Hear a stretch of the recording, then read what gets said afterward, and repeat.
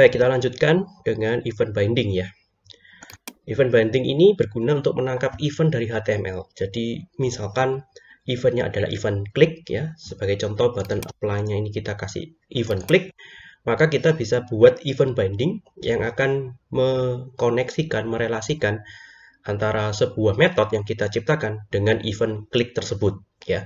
Event ada banyak ya, ada klik, change, input. Nah, ini ada apa namanya? pembahasan lengkap tentang event di web ini ya. Saya coba buka. Oke, nah ini ya, ada macam-macam event yang Anda bisa uh, gunakan untuk uh, apa? untuk berbagai macam kebutuhan ya.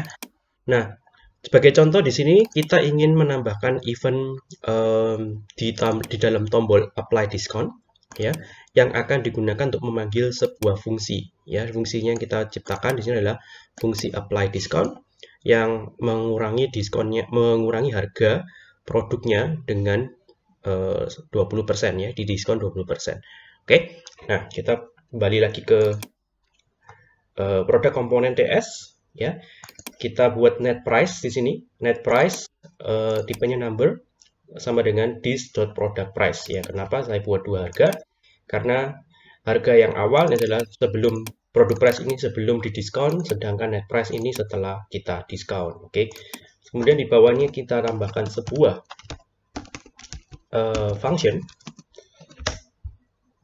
apply discount. Oke, okay? isinya adalah uh, price sama dengan this dot price produk price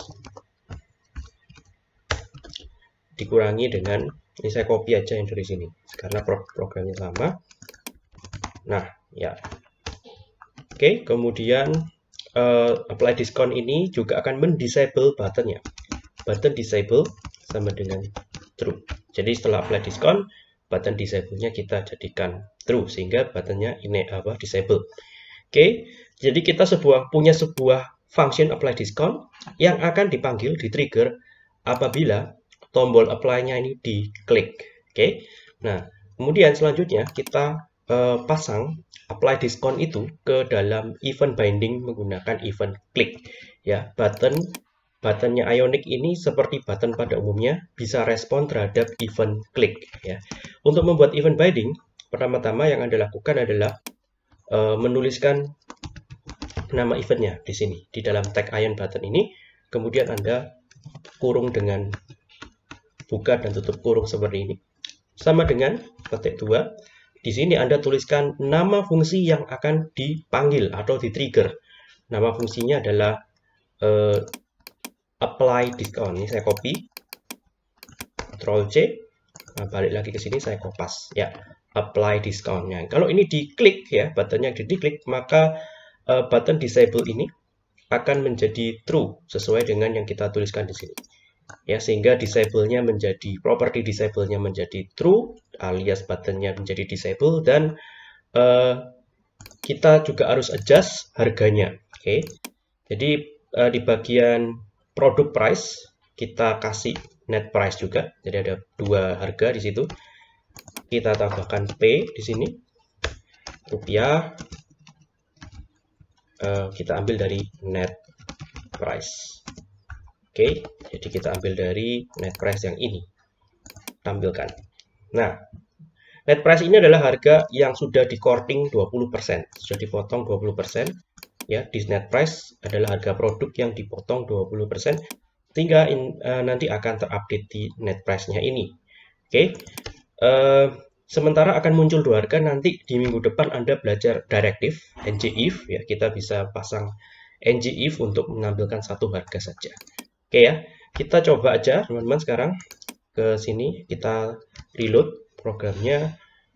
Oke, kita apply diskon dan uh, bentar ini coba saya reload lagi. Oh ya, ini uh, harga yang atas ini harusnya oke okay, saya ada yang salah, sebentar tunggu ya. Uh, ini buka, kita ganti dulu ya diskon price-nya, kita ganti dengan produk price. Oke, simpan. R. Jadi harga aslinya adalah 8 juta begitu ya. Begitu setelah kita tekan apply discount, maka di coring 20% menjadi 6 juta 400 oke? Itulah event binding ya teman-teman. Jadi kita bisa lihat harganya berkurang dan uh, semuanya dihandle oleh event binding antara uh, controller dengan view. Oke? Nah kemudian terkadang kita butuh mengakses value dari sebuah elemen. Misalkan kita punya text box kode voucher. Ini nggak kelihatan ya. Ini sebenarnya text box teman-teman ya. Input text uh, jadi kalau diisi so, sebuah kode voucher kemudian kalau kita isinya benar kode vouchernya benar maka buttonnya menjadi enable.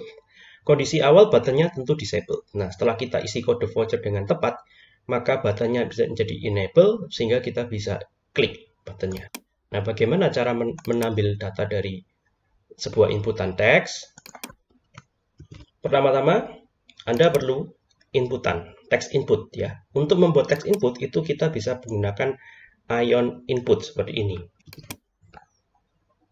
Ion input, ya kita pindah Android dulu ya. Nah, macam-macam jenisnya ya. Nanti Anda baca sendiri. Pemakaiannya sederhana sekali ya, tinggal ion input bisa Anda tambahkan properti yang Anda inginkan di dalamnya.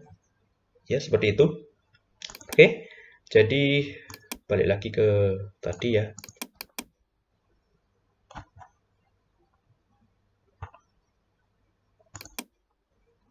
ya ini ya nah ini uh, saya akan copy uh, iron item dan iron input oke okay. ke HTML yang saya punya ya jadi di atasnya button ya di sini Ctrl V jadi ada iron item dan ada labelnya dan position. Ya, ini item tempat dipakai supaya rapi aja. Ada label position, kode voucher, dan ada sebuah text box. Inilah text boxnya teman-teman ya. Saya simpan dulu, saya coba reload ya di layar dan Anda lihat ada sebuah text box di sini. Oke, yang bisa kita entry uh, uh, kemudian kita cek apakah datanya betul. Kalau betul, maka uh, kita akan uh, hidupkan tombol disable-nya, tombol apply discount-nya. Ya, apply discount-nya ini eh, kondisi awalnya harus disable, teman-teman ya. Jadi pada kondisi awal uh, kita set false eh sorry maaf kita set true seperti ini. Dari kondisi awalnya disable nggak bisa diklik. Nah anda bisa lihat ya. Jadi nggak bisa diklik. Nah setelah itu kita isikan sebuah kode voucher. Jika benar maka apply discount-nya menjadi enable. Oke, okay, ya, jadi uh, untuk menambahkan event binding input, ya, kita bisa tuliskan seperti ini. Input, jadi nama eventnya adalah input. Input ini adalah event binding untuk penginputan pada teks. Jadi akan di-trigger apabila kita mengetik sesuatu di text box ini. Ya, kita setiap kali kita ngetik, maka fungsi check voucher ini akan dijalankan. Nah, uh, function ini secara uh, default tidak punya parameter, tapi Anda boleh nambahkan parameter ya misalkan dollar event ya dollar event ini adalah objek yang berisi berbagai macam properti pada text box ini. Event ini nanti bermanfaatnya adalah kita bisa gunakan untuk membaca isi dari text box ini atau value dari text box ini oke? Jadi kita tambahkan di uh, eh, HTML-nya ya di sini ya. Jadi nama eventnya adalah input. Fungsi yang kita panggil kita belum buat fungsinya ya, yakni check voucher dollar even. Oke, jadi check voucher akan di-trigger apabila kita mengetik sesuatu di dalam text input ini. Nah, kita kembali ke controller, kita akan buat fungsinya, yakni check voucher. Cuman kali ini ada event parameter di dalamnya. Oke, seperti ini teman-teman ya. Kemudian, eh, apa yang kita lakukan dengan check voucher? Kita cek, misalkan kode vouchernya adalah 007 seperti ini. Maka jika itu terjadi, buttonnya kita enablekan. Oke, pertama-tama kita harus uh, bisa akses nilai dari text box-nya. Untuk mengakses nilai dari text box, kita bisa gunakan uh, event.target.value, teman-teman. Ini untuk mendapatkan nilai dari text box yang kita